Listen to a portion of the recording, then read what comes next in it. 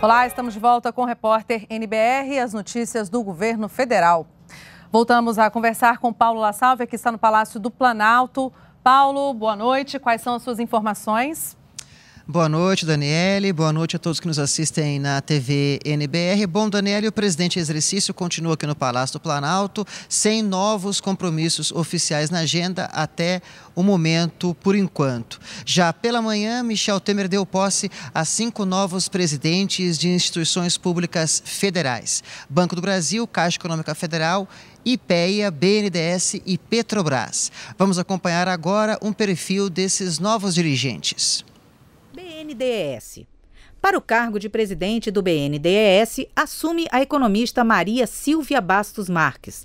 Como administradora pública, ela já foi diretora no próprio BNDES e presidiu a Companhia Siderúrgica Nacional, além de ter sido secretária da Fazenda Nacional no Rio de Janeiro. Banco do Brasil. Na presidência do Banco do Brasil assume Paulo Rogério Cafarelli. Ele é formado em Direito com MBA em Direito Societário e Finanças pela Fundação Getúlio Vargas e mestrado em Gestão e Economia de Negócios pela Universidade de Brasília. Antes de assumir a presidência do Banco do Brasil, ele ocupava o cargo de diretor executivo da Companhia Siderúrgica Nacional, onde também era diretor executivo de Relações com Investidores.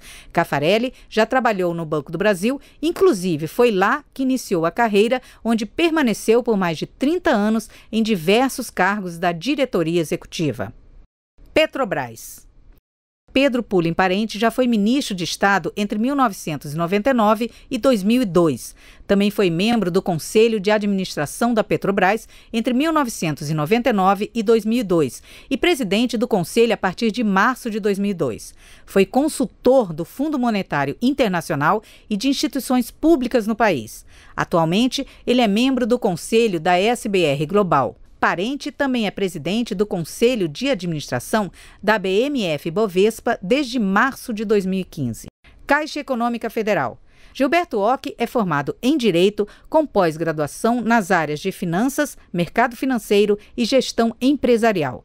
Funcionário de carreira da Caixa Econômica Federal, exerceu as funções de gerente de mercado no Espírito Santo, superintendente regional em Sergipe e em Alagoas. Foi ainda superintendente da região Nordeste e vice-presidente de governo. Ock também foi ministro das Cidades e da Integração Nacional no governo Dilma Rousseff. Instituto de Pesquisa Econômica Aplicada. O economista e administrador Ernesto Lozardo assume o IPEA. Ele foi secretário do Planejamento e Economia do Estado de São Paulo, também foi presidente da Prodesp, empresa de informática do Estado de São Paulo. Atuou como diretor da Caixa Seguros e integrou o programa Jovens Economistas do Banco Mundial. É consultor de empresas em finanças e economia e membro do Conselho de Administração de Empresas Privadas. Desde 1977, é professor de economia da Fundação Getúlio Vargas de São Paulo. Michel Temer também confirmou que o novo presidente do IBGE vai ser Paulo Rabelo de Castro. Já o novo ministro da Transparência, Fiscalização e Controle será o jurista Torquato Jardim. Informação também confirmada pelo Palácio do Planalto e a posse deve ocorrer nesta quinta-feira pela manhã aqui no Palácio do Planalto.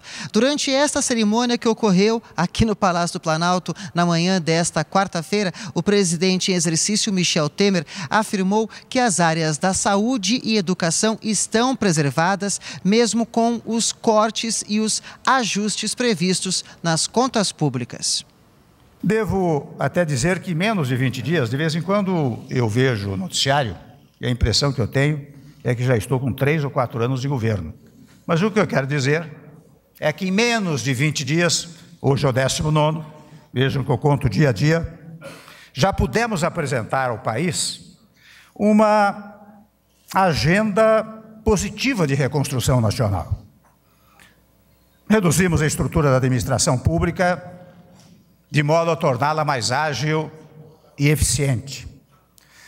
Obtivemos no Congresso, eh, depois de longa discussão, a aprovação da nova meta fiscal.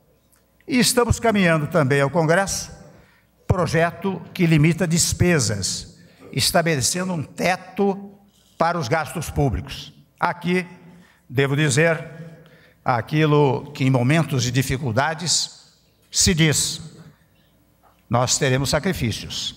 Agora, quero registrar, para não haver exploração, no sentido contrário, que sem embargo da redução ou da limitação das despesas, as, os percentuais referentes à saúde e à educação não serão modificados. O presidente exercício também afirmou que ninguém vai interferir na Operação Lava Jato.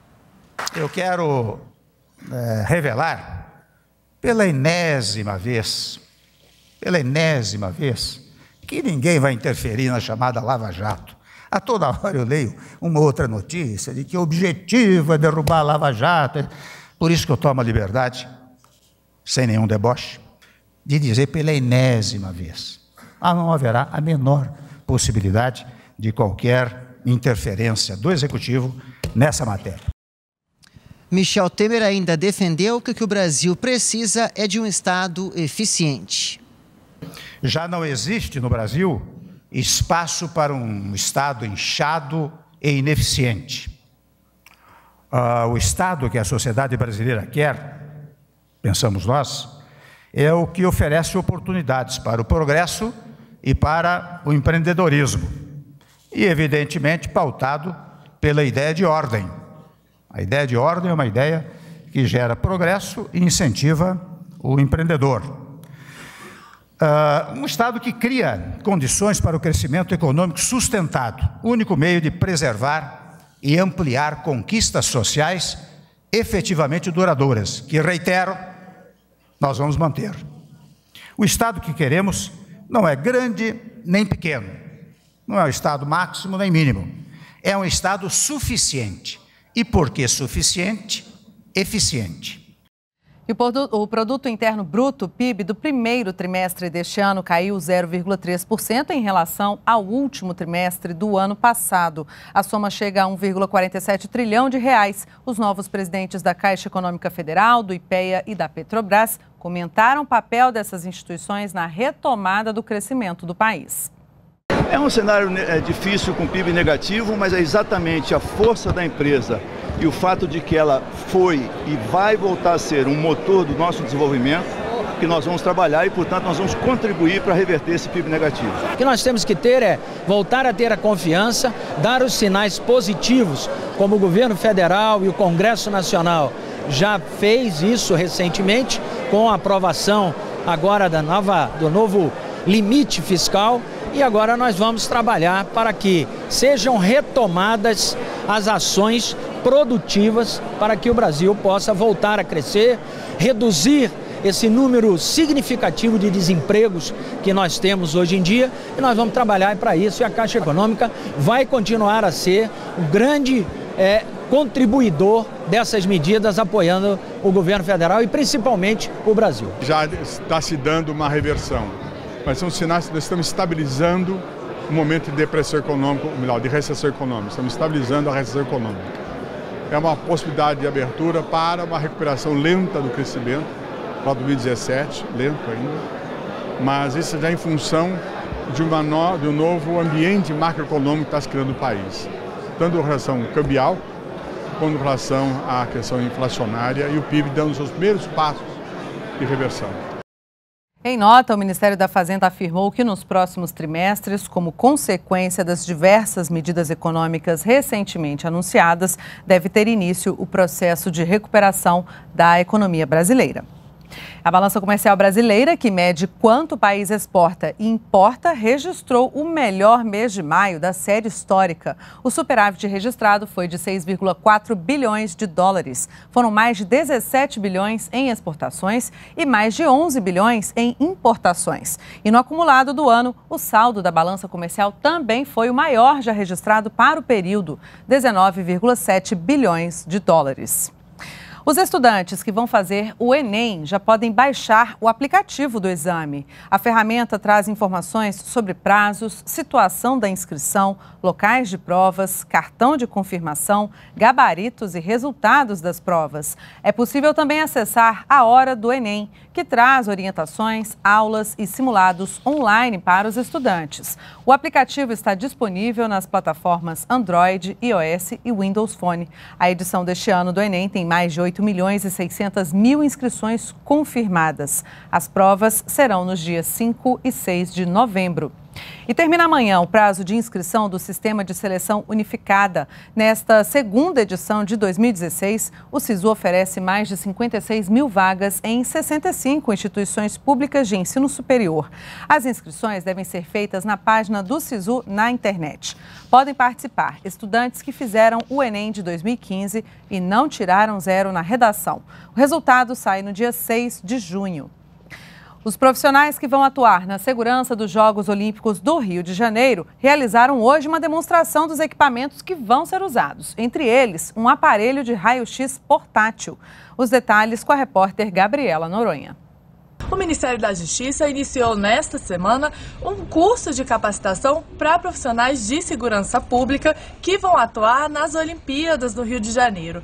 Aqui a gente está com o soldado Monteverde e o sargento Isley que estão aqui fazendo o curso e vão explicar para a gente um pouco como é que está funcionando. É, o que, que vocês estão fazendo aqui no curso? Qual a capacitação?